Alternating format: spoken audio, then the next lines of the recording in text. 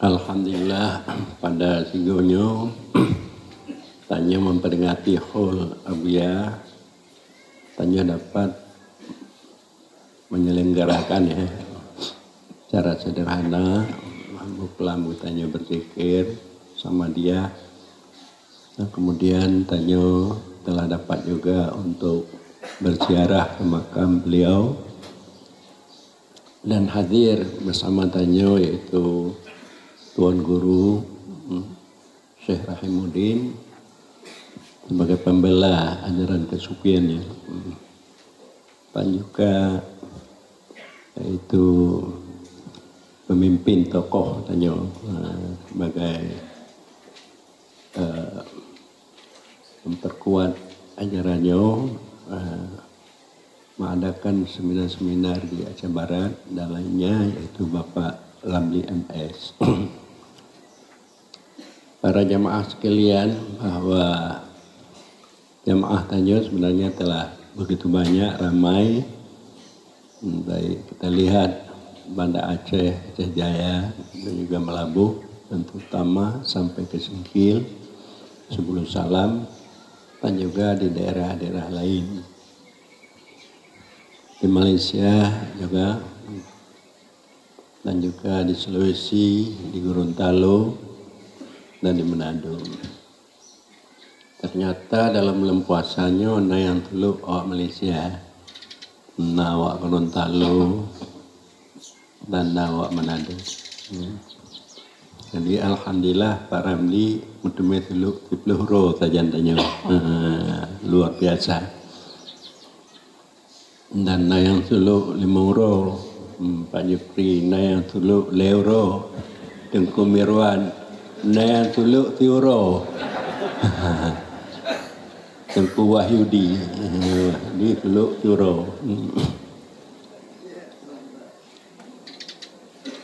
Jadi karena membenarkan ajaran tasawuf dan kesufiannya sekedar membenarkan itu sudah menjadi wali kecil. Hmm. Kalau kita dapat mengamalkan itu sudah menjadi wali besar. Kalau kita dapat menyampaikan itu sama seperti bintang. Hmm, diperlukan oleh seluruh umat. Para jamaah sekalian, mengapa demikian itu? Karena di dalam tarekat berkasat, berkemauan untuk dekat dengan Allah. Kita dapat yaitu menghilangkan awaek dan lawaek sangkutan penghalang. Di sangkutan penghalangnya di antara lain adalah keluarga, anak, teman, dan rumah. Jadi itu penghalang yang menghalangi tanyo untuk hudur di hadapan. Bila mana katanya mengamalkan dengan suluk Berarti wujud selain Allah itu hilang dalam batin dan Sesuai lagi apa yang dilakukan oleh almarhum Dr. Diaudin ya. Yaitu Hasbi Rabbi Jalallah Maafi kalbi ilallah Tidak ada dalam hatiku melainkan Allah Dengan demikian barulah sampai katanya kepada hadrat barulah tanya berpakaian dengan nur. Barulah Ustaz dapat tanya hidup bersama. Para hadirin hadirat yaitu Bunda telah diterangkan lebar panjang eh, oleh Guru Tanyo Kiai Rahimuddin mengenai damir huwa kembali kepada insan, pada Muhammad katakan olehmu hai Muhammad dianya engkau adalah Allah. Yang dimaksud hakikat, hakikat engkau adalah Allah. Jadi di dalam kitab lain diterangkan dalam kitab Jawahir Hakaek nah, karangan Camsudin Sumatani. Engkau itu hak pada hakikat. Engkau itu makhluk. Engkau itu Buddha pada ta'in nah, pada kenyataan kau Buddha. Dan pada kenyataan Buddha Allah. Pada hakikat tanya Allah hakikat daripada wujud tanyo hakikat perbuatan tanyo dari perbuatan Allah. Hakikat daripada wujud sifat tanyo dari sifat Allah. Hakikat. Hakikat daripada zat tanyo dari Allah. Jadi hakikat yang dimaksud asal. Hakikat dimaksud ah jadi yang ke dibicarakannya untuk bertanya dapat memahami hakikat. Jadi kalau kita hanya memahami syariat, tidak hakikat, tanya pasek. Tanya harus dapat memahami di samping syariat, yaitu hakikat. Supaya kita tahkek. Nyo hakikat mantong tidak syariat, tanya jendek. Tadi hakikat ini ibarat air hakikat syariat itu ibarat gelas. Jadi kalau umpamanya gelas tanpa air, maka gelas tidak ada gunanya. Nah, kalau air tanpa gelas, maka air ini tidak dapat kita cuci. Jadi kita perlu dua. Ilmu amal itu syariat. Hal dan syuhud itu hakikat hal artinya sangkutan hati kita kepada Allah sehingga terlihat kasih sayang Allah hakikat-hakikat ketuhanan itu masuk ke dalam diri melimpah ke dalam hati kita sehingga menimbulkan cinta dan rindu kepada Allah setelah tajali hakikat ketuhanan atau rindu cinta kepada Allah, maka hilang kita. Tidak terlihat kita lagi hanya Allah. Maka itu dikatakan makrifat. Jadi makanya sebenarnya ajaran Tasawuf Kesup ini mudah, tidak payah. Ilmu amal, hal dan syuhud. Ilmu amal ini, ini yang kita lakukan.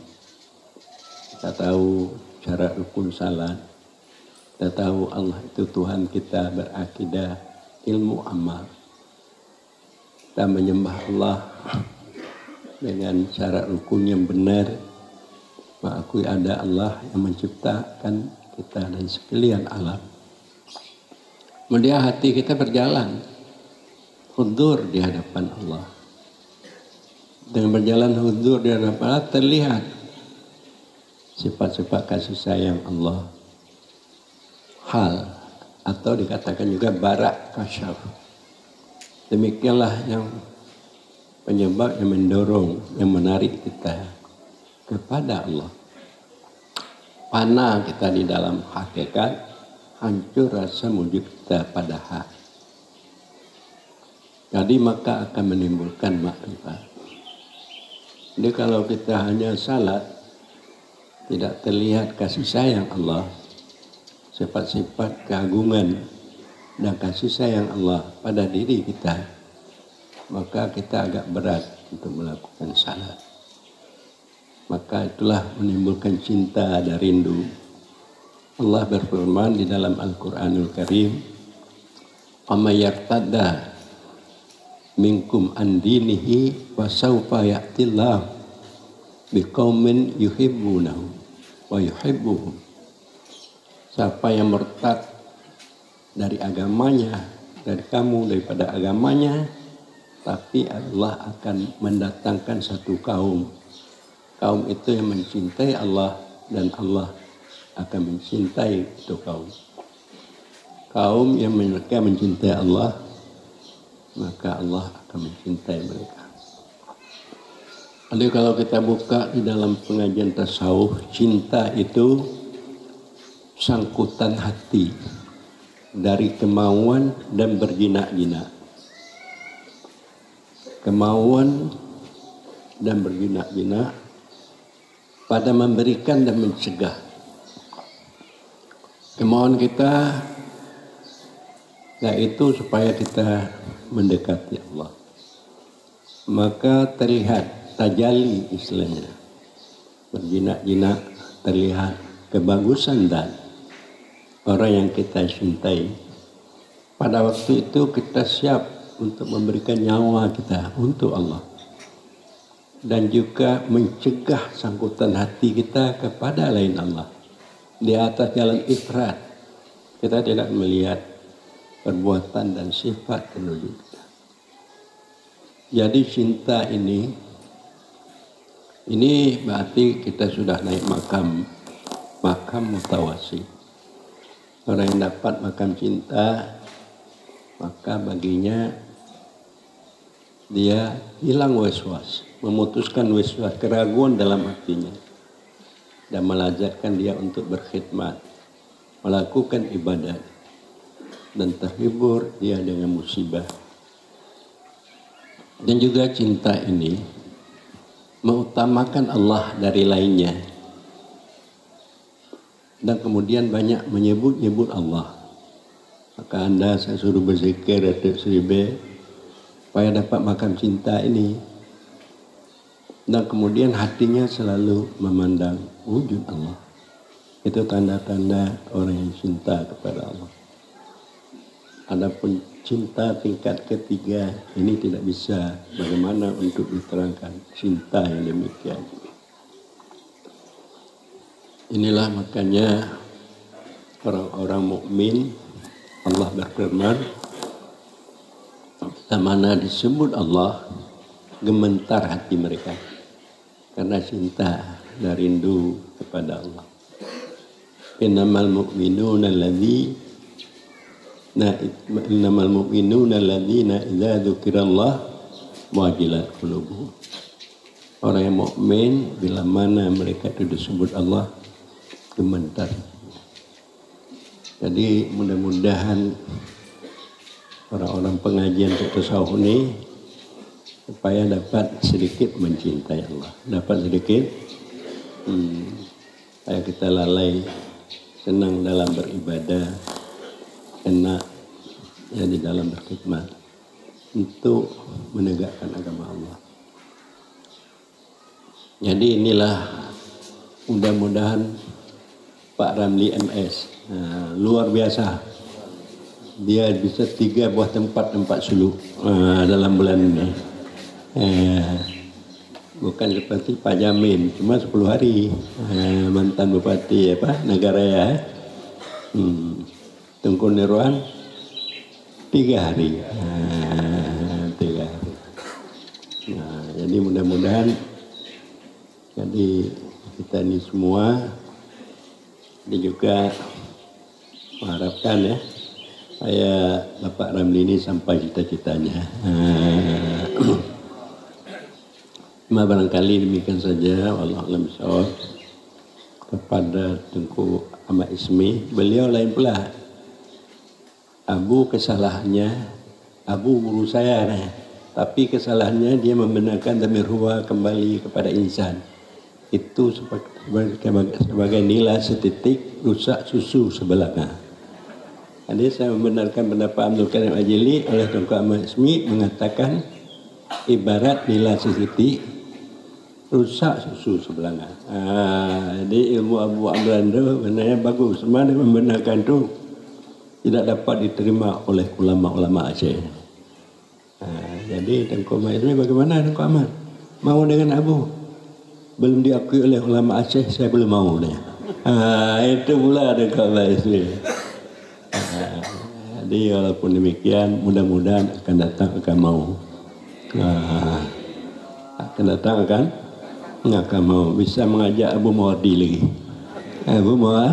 Ah, Abu Mawardi karena saya mengembalikan ruah kepada insan saya benarkan pendapat insan kami Saya berjumpa aja beliau tidak dapat berjumpa, ditutup pintu. Nah, itu karena pengaruh tas tapi. Pengaruh? Nah, jadi mudah-mudahan berubah, eh, berubah. Eh, mudah-mudahan kita ini eh, itu mendapat jalan yang lurus. Jalan yang lurus eh, kembali kepada zat Allah. Karena ihdina siratal mustaqim itu dua penafsiran secara ibari ihdina siratal mustaqim tunjukilah kami jalan yang lurus berarti agama dan di tafsir isyarinya tunjukilah kami jalan yang lurus jalan kepada zat jalan nah, hati yang panah di dalam wujudnya maka dengannya. Cuma demikianlah kita minta kepada Tongkok Smith berdoa berdoa nah,